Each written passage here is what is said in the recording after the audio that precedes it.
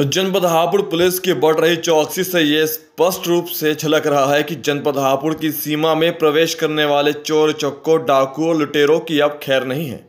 और पुलिस गुंडा तत्वों को बख्शने के मूड में नहीं है।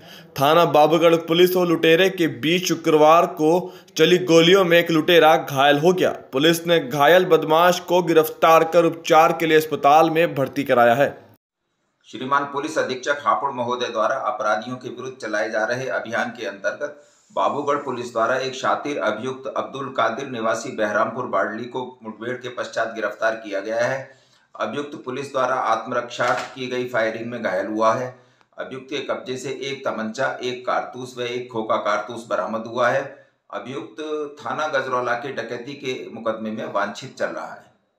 पुलिस क्षेत्राधिकारी अशोक सिसोदिया ने बताया कि शुक्रवार की भोर में थाना बाबूगढ़ पुलिस गश्त कर रही थी कि एक बदमाश ने पुलिस पर फायर कर दिया। पुलिस ने जवाबी कार्रवाई की और गोली लगने से बदमाश घायल हो गया। घायल बदमाश की पहचान थाना बाबूगढ़ के गाँव बहरामपुर बाड़ली के अब्दुल कादिर के रूप में हुई है, जो गजरोला में हुई एक डकैती में वांछित चल रहा है। पुलिस ने मौके से एक तमंचा एक एक ज़िंदा और खोखा कारतूस बरामद किया है। बता दें कि घायल अब्दुल कादिर के दो साथी भी एक दिन पहले बाबूगढ़ पुलिस से हुई मुठभेड़ में घायल हो गए थे।